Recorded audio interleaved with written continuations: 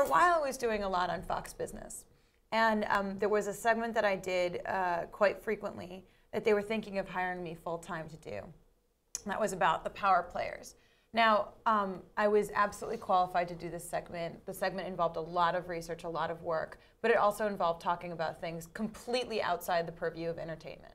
And um, I got uh, ripped to shreds online about who is this girl and why should she talk about anything other than Paris Hilton or Britney Spears. And frankly, that was a little bit discomforting. I, I was totally depressed by it.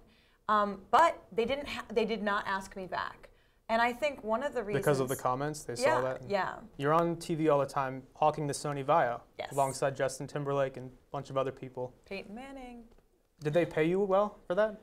Um, Or is yeah, it like I a mean, fifty I dollar was, gift was, card to the Sony store? No, I was happy. I was It- really it happy. was It was a campaign. Uh-huh. So, um, is it still running or is it ended? well, officially, my tenure is a year. So um, we shot the campaign in June, uh, and it was radio, TV, print, um, in store. It was a huge honor, Yeah. frankly. And and they chose me because they were looking for someone who does the kind of life casting that I do. I need a very small computer that I can just haul around with me. Mhm. Um, so it's like a netbook. Yeah, well, it's the the Vaio is quite small, so Uh-huh.